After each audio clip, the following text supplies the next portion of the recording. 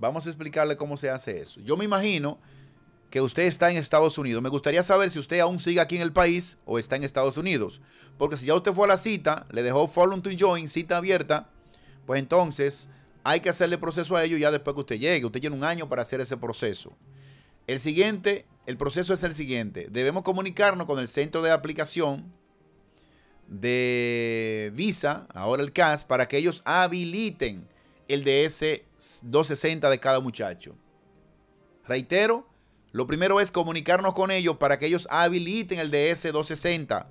Porque si no está lleno, no hay forma. Y si te lo habilitaron, pues ahora sencillamente llenamos el DS 260, creamos el perfil, imprimimos la confirmación del DS 260, nos comunicamos con ellos entonces para que te den una nueva cita. Y ya después de la nueva cita, pues sencillamente se hace sus análisis y por ahí se continúa con el proceso. Reitero, si no tiene el formulario habilitado, ellos deben habilitarlo para llenarlo.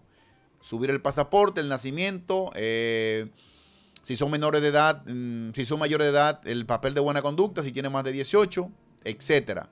Comunicarnos con ellos para que entonces ellos den acceso a una nueva cita y ya antes de esa cita, 15 o 20 días antes de esa cita, pues entonces se le hacen los análisis consulares. Ese es el proceso del Follow to Joy o cita abierta a los hijos, pero muchas veces también dejan cita abierta a los esposos. Pla, eh, hace un super chat, pero no hace pregunta. Señores, estamos respondiendo preguntas de super chat en este momento.